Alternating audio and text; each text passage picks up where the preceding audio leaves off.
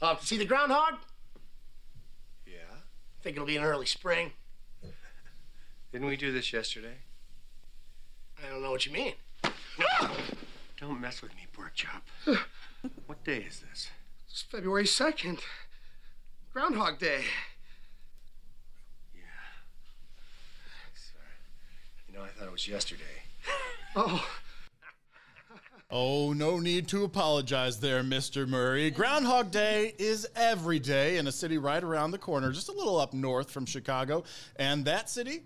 Woodstock, Illinois, of course. This year, the city is celebrating the 30th anniversary of the comedy classic Groundhog Day movie being filmed there in 1992. They're, of course, showing the movie, but also having a chili cook off, dances, and a whole lot more, including, of course, the groundhog. Of course. Uh-huh. So, joining us now to tell us more about it is Melissa McMahon, a Groundhog Days committee member and official Woodstock Willie Wrangler. Welcome.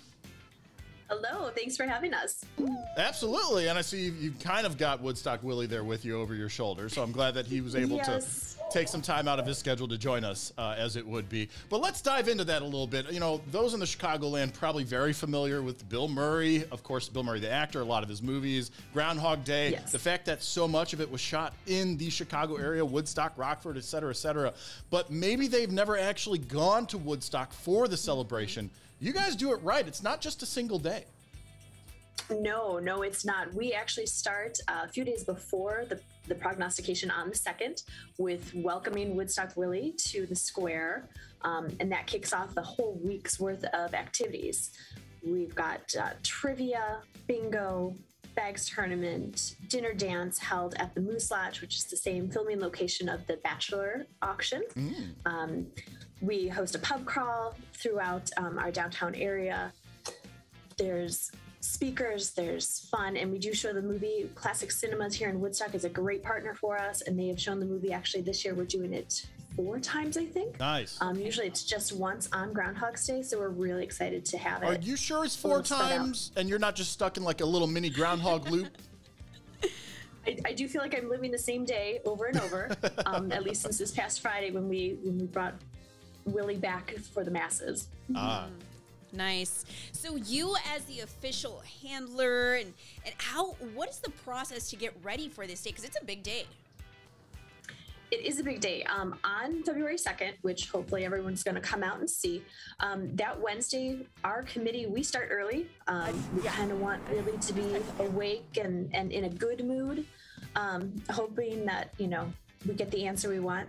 But we start out um, bright and early, and we have a band that comes out. They will be playing from that bandstand to the uh, the crowd that's gathered, starting at about 6:45 and then about approximately 7:07 a.m. Willie will make their prognostication. What's it? What? What? Why 707? What does that have? How does that impact Willie's decision? You know, we start at seven, and for years now, nearly um, well since 1995 is when we started celebrating Groundhog's Day Okay. um, with a little festival and stuff. They've always just appro- said approximately 7:07 a.m. Oh, So I I just kind of go with that. I like it. Yeah. That's that. That is a a Willie, a Woodstock Willie fun fact. Yeah. yes, yeah. Okay, so for those who might be a little confused, we had to look it up ourselves. If he sees the shadow, what does that mean? If he doesn't see the shadow, what does that mean? So if he sees a shadow, it means six more weeks of winter. So we are hoping for a cloudy day, little overcast, no shadow. We Okay. want no shadow, and that means an early spring. Mm. That's what we're.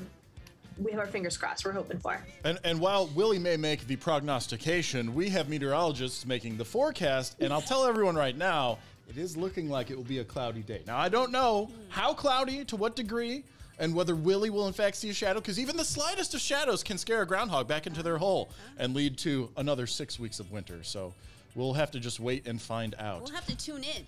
That's Yeah. what we're gonna have to do. Do you do you have a favorite moment of the events as a whole, and then also of the movie? I'm going to tie these things two things together once again. Oh goodness. Um, of the events, not so much. It's really just a great time to be in Woodstock. Um, I've lived here for many years and got involved because I wanted other people to to love Woodstock like I do. Oh, cool. So just seeing the people, I, I take a lot of pictures. I, I talk to a lot of people trying to get you know their pictures taken with Willie. I'm always teasing them that this is now their Christmas card. Woodstock Willie and your family. That is what I want to see for Christmas. Um, so really, the whole weekend is just great. It's it. Everyone is just in such a good mood.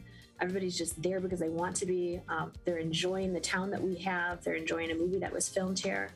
Um, as for the movie itself, Yeah, that's what I want to know. you know, I don't know if there's any one spot. Um, I really kind of just like the whole thing. I love. I still will sit there and I'll pick out places. I'm like, hey, I, that reminds me. I need to stop at that store and pick up a book or um, things like that. But I think just the overall story that there's there's good, and once you learn how to put that good out in the world, life's just going to get better. And just like Phil and Rita, you'll fall in love and decide to come to Woodstock and, and, live here. learn Yeah. French and classical poetry and piano, of course, just like yes, Phil and and Rita. yeah. piano, Yeah. and the piano, play the piano. That's right. Can you talk a little bit about the attention that the movie brought to Woodstock, or, or maybe just like what you hear people tell you that aren't familiar, m- might not realize this is an actual place they could go visit?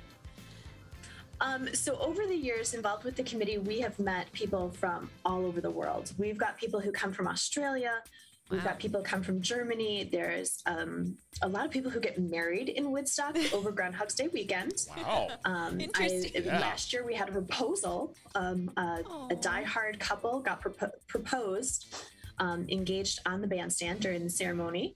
Wow. and um, really people just it it means something to everybody and so they come we've had people who've like oh my gosh i went to pennsylvania and I, it was wrong it wasn't the right place Take and that. then they find us and they come Cool. Nice. Yeah. Well, if anybody has uh, or is in need of a last minute proposal idea, hmm? here there it is. We got information at the website woodstockgroundhog.org. You can find more and as Melissa said, the festivities are already well underway to celebrate Groundhog Day and hopefully he doesn't see that shadow. That's what cloudy day. Mm-hmm. Come on. yep let's hope so Melissa, thanks so much for joining us. Have a great one. thanks for having us bye-bye